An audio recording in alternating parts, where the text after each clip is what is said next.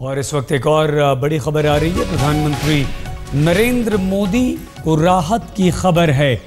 ये जो तस्वीर आप देख रहे हैं, ये चुनाव प्रचार के दौरान की तस्वीर है, जब आचार संहिता के उल्लंघन का मामला नरेंद्र मोदी पर चला था।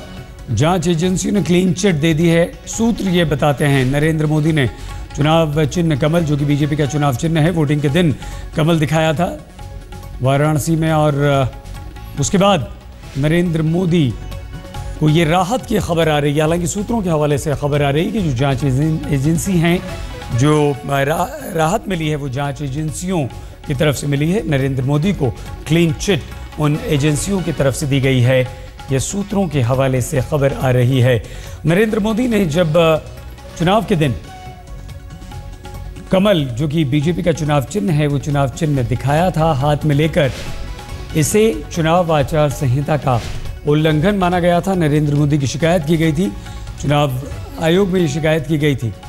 यही वो तस्वीर थी जो हम आपको टीवी स्क्रीन पर दिखा रहे हैं। अपने हाथ में चुनाव चिन्ह लेकर नरेंद्र मोदी ने उसे दिखाया था और उसके बाद नरेंद्र मोदी ने खुद सेल्फी, यानी कि अपने सेलफोन से उसकी तस्वीर भी निकाली थी अपने साथ। लेकिन लोगों को ये तस्वीर, यानी कि चुनाव चिन्ह दिखाने के मामले में फंस गए थे नरेंद्र मोदी और जिस दिन चुनाव डाले जा रहे थे।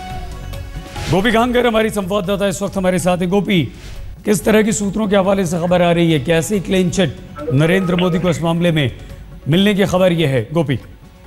जी, बिल्कुल सईद, मैं आपको बता दूँ कि नरेंद्र मोदी जिस दिन आपको शायद याद हो, याद होगा कि नरेंद्र मोदी जिस दिन वोटिंग था, उस दिन वहाँ पर जो वोटिंग डालने के लिए आए थे, उसके बाद उन्होंने एक सेल्फी खींची थी और सेल्फी के बाद वहाँ पे जो पत्रकार थे, उनके साथ उन्होंने बातचीत की थी। हालाँकि इस पूरे मामले में क्राइम ब्रांच इन्वेस्टिगेशन कर रही थी अहमदाबाद क्राइम ब्रांच और अहमदाबाद क्राइम ब्रांच ने आज अपनी रिपोर्ट फ़ाइल की है कोर्ट में।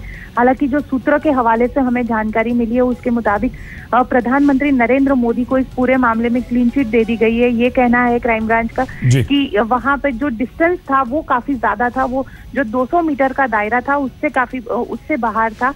और जो सेल्फी खींचने की बात है तो सेल्फी भी 200 मीटर के दायरे के बाहर थी और यही वजह बताते हुए क्राइम ब्रांच ने क्लीन चिट देने की बा, बात हमारे सूत्रों के ज़रिए हमारे सामने आ रही है। सही बहुत धन्यवाद गोपी। गोपी गांगर हमारी संवाददाता जानकारी दे रही थी किस तरह से नरेंद्र मोदी पर यह मामला चला था? चुनाव आचार संहिता का आरोप लगा था और सूत्रों के हवाले से जो खबर आ रही है, वो खबर यही कि नरेंद्र मोदी को क्लीन चिट इस मामले में कमल चुनाव चिन्ह दिखाने के मामले में मिल चुकी है।